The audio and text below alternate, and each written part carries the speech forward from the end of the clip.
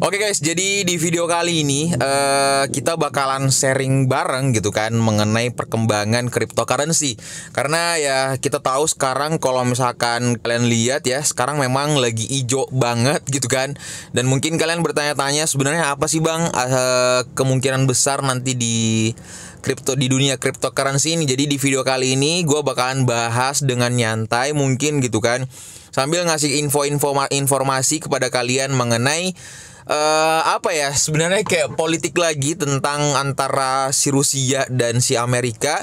Dan ini adalah tren global jadi gua harap kalian tetap harus pantau terus ikutin terus tren-tren seperti ini agar kalian bisa tahu perkembangan di beberapa uh, bulan ke depan gitu. Karena mereka ini kan sifatnya dia tuh kayak uh, contoh misalkan di bulan Maret nanti gitu kan atau tanggal 8 Februari nanti gitu kan ada agenda-agenda.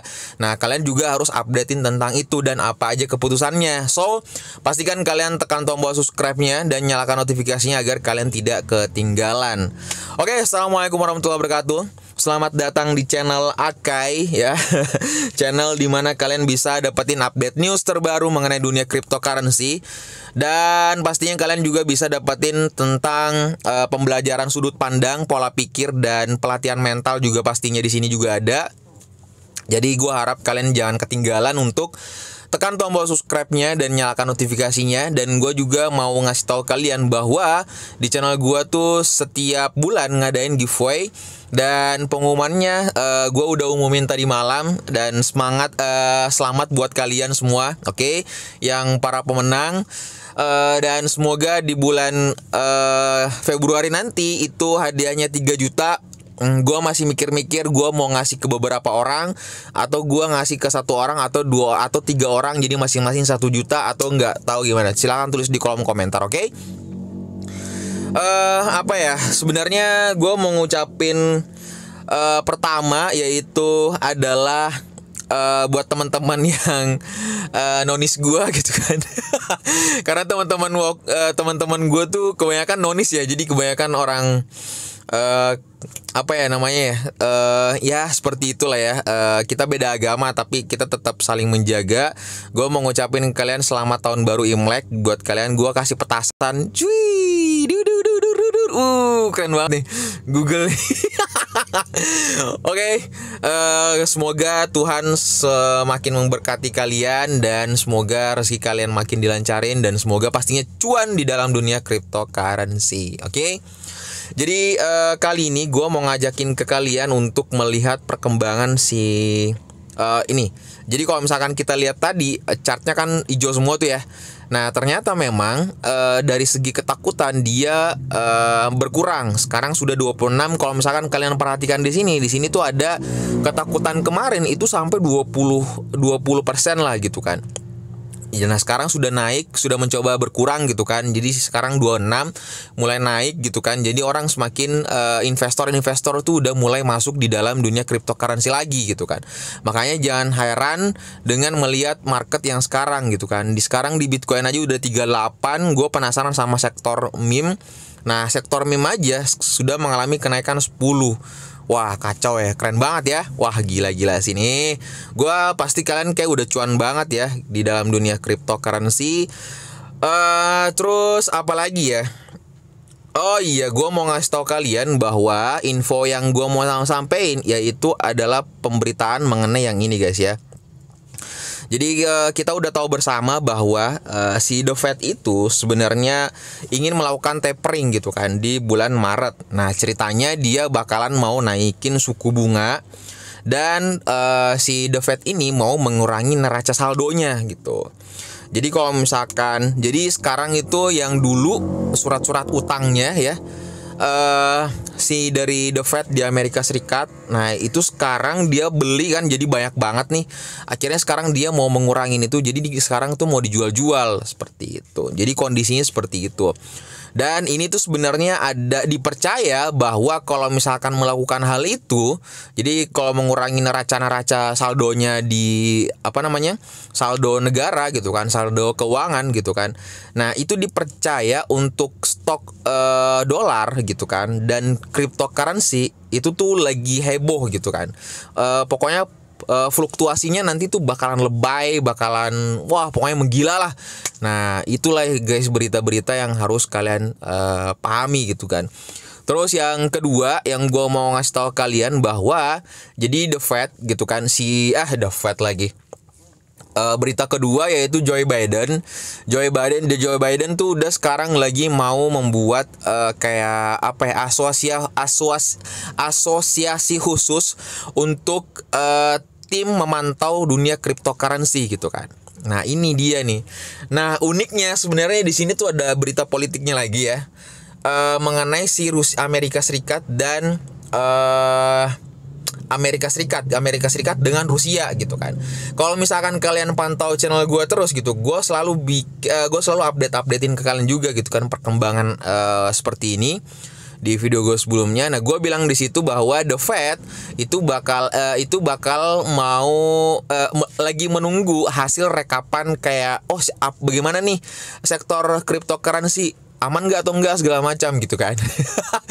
Cuman yang jadi persoalannya adalah didului oleh si Rusia Vladimir Putin gitu kan. Jadi kayak jadi kalau misalkan kalian baca uh, berita-berita gua kemarin, jadi Vladimir Putin tuh kan kemarin kayak uh, apa ya beritanya tuh diheboh-hebohkan jadi food banget jadi kalau misalkan berita di Rusia itu memang kasar-kasar ya dalam artian tuh judulnya tuh bikin ekstrim-ekstrim banget gitu kan nah tapi isi beritanya itu tuh sebenarnya isi beritanya lagi mau mengusulkan. Bukan um, apa bukan melarang sebenarnya mau mengusulkan. Udah seperti itu berisi beritanya gitu kan. Cuma kan ini digoreng sama berita-berita nasional digoreng sama berita-berita internasional. Jadi orang tuh pada takut waktu itu masuk di dalam dunia cryptocurrency makanya harganya jor-joran hancur kan waktu itu. Merah banget lah Nah seperti tapi guys tapi ketika seketika enam hari lalu atau berapa empat hari lalu si Putin bilang bahwa si presiden Rusia dia bilang kayak gini eh bagus loh kalau kalian mau uh, mining Bitcoin di, di Rusia gitu kan. Jadi kayak dia welcome banget sama uh, cryptocurrency lagi gitu kan. Kan kayak kacau kan. Jadi uh, nah inilah yang membuat si The Fed di Amerika Serikat ini kayak Hmm, bentar, kok lu sih ngeduluan gua gitu kan si Rusia kayak gitu kan. Karena kemarin katanya lu masih mengusulkan pelarangan cryptocurrency, penambahan cryptocurrency gitu kan. Sedangkan The Fed kemarin dia tuh kayak mau oke, okay, saya terima dulu deh. Uh, saya belum terima nih report-report kalian atau eh, hasil-hasil uh, dari kalian gitu kan. Nah, tapi seketika belum diterima harusnya pengumumannya di 25 20 Maret kalau nggak salah tuh ya waktu itu ya gue bilang 20 Mei ya kalau nggak salah ya. Waktu itu itu sekarang sudah dipublish. Oh iya, saya sudah terima The Fed kayak gitu, coba. Jadi kayak apa ya? Jadi kayak hmm, bentar, bentar.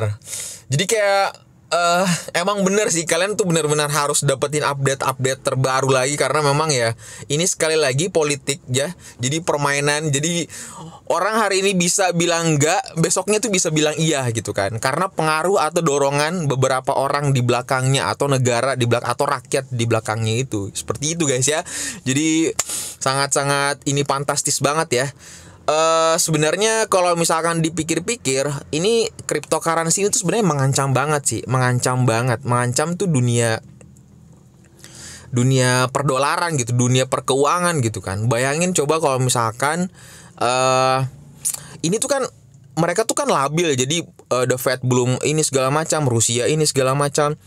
Jadi mereka tuh kayak mikir aduh gimana nih gawat nih? Sedangkan nih cryptocurrency lagi marak banget nih. Orang tuh pada nuntut untuk mau dipakai itu gitu kan. Jadi di sisi lain para investor yang sudah kaya dahulu dahulu yang sudah punya dolar atau permainan emas atau segala macam itu tuh kayak bilang woi presiden kalau lu kayak gitu ngambil keputusan ke segala macam kayak gini awas lu ya. Pokoknya gue bakalan suruh apa ya kayak gue bakalan suruh tentara-tentara tuh untuk nyerang kalian. Nah ada yang kayak gitu guys. Makanya kita lihat kemarin tuh banyak yang kudeta-kudeta segala macam gitu. Sebenarnya negara yang kurang aman gitu. Dalam artian bukan kurang aman sih. Ada jadi ada pemain di belakang layar gitu kan. Menurut kalian di Indonesia ada nggak sih pemain di belakang layar gue nggak mau terlalu banyak komen seperti itu. Pada intinya kita tetap ingin melihat bahwa negara Indonesia itu berkembang. Cuman kalau ada setiap uh, sisi negatif atau positif segala macam kita ambil-ambil yang uh, membuka wawasan aja jangan langsung ditelan jangan kalau ada informasi jangan langsung ditelan apa segala macam. Intinya kalian tetap analisa uh, segala macam seperti itu. Pada intinya sekarang market lagi hijau itu adalah karena memang uh, the Fed pertama dia sudah mengeluarkan hasil reportnya hasilnya gitu kan.